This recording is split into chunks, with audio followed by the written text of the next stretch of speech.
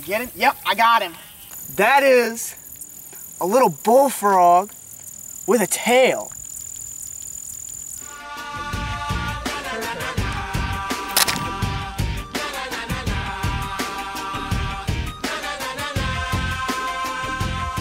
A little frog right there.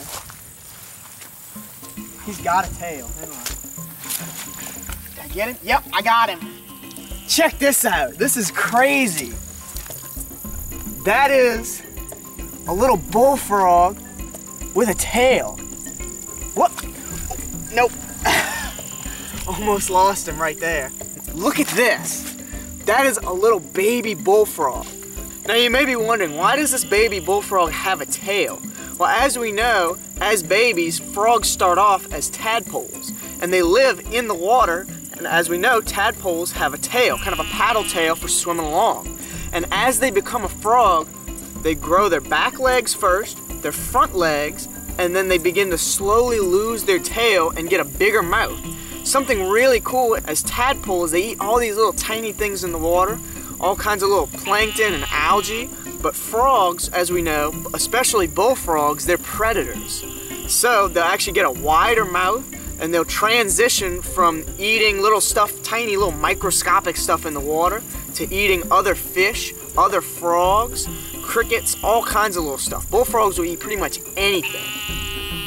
Now this little bullfrog here, you can see the end of the tail is actually kind of deteriorating. They kind of absorb the tail a little bit during this little transitional time, and this little frog can get huge. Bullfrogs get absolutely massive.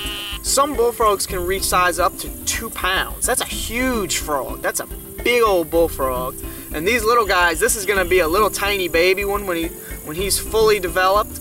So bullfrogs, just especially down south, get absolutely massive, and the tadpoles can be massive as well.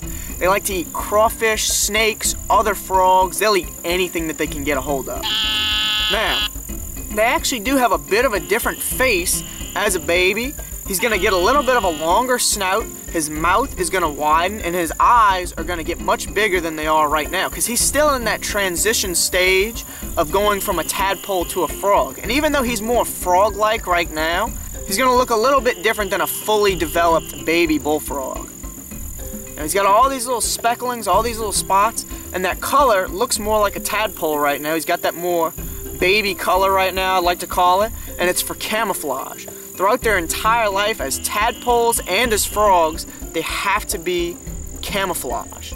That is one of their number one defenses. And these guys are mostly going to be nocturnal. That's why they have those big eyes right on the top of their head, is because they're mostly going to be nocturnal.